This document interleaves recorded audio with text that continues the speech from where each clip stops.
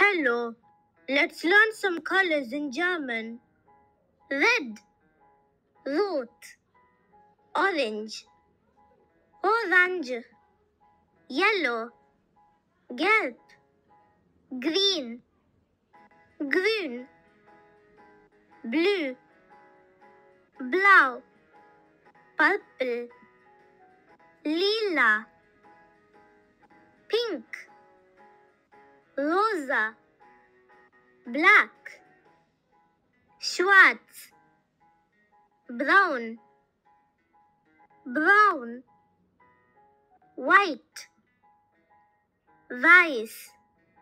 Thank you for watching my video. If you liked it, please give it a thumbs up and subscribe to my channel. And remember, keep learning, keep on learning. Bye.